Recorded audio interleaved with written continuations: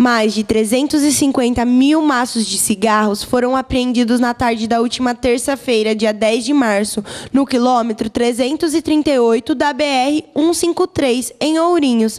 Segundo a Polícia Rodoviária Federal, durante a fiscalização, a equipe percebeu que o motorista de 35 anos estava muito nervoso ao ser abordado. Ele apresentou uma nota fiscal que transportava carnes, mas dentro do veículo foram encontrados mais de 700 caixas de cigarros carros estrangeiros. Ao todo, a carga soma um valor aproximado de 1 milhão 750 mil. O veículo, a carga e o motorista foram levados à sede da Polícia Federal em Marília, onde ele foi preso em flagrante e permaneceu à disposição da Justiça. A origem do produto será investigada.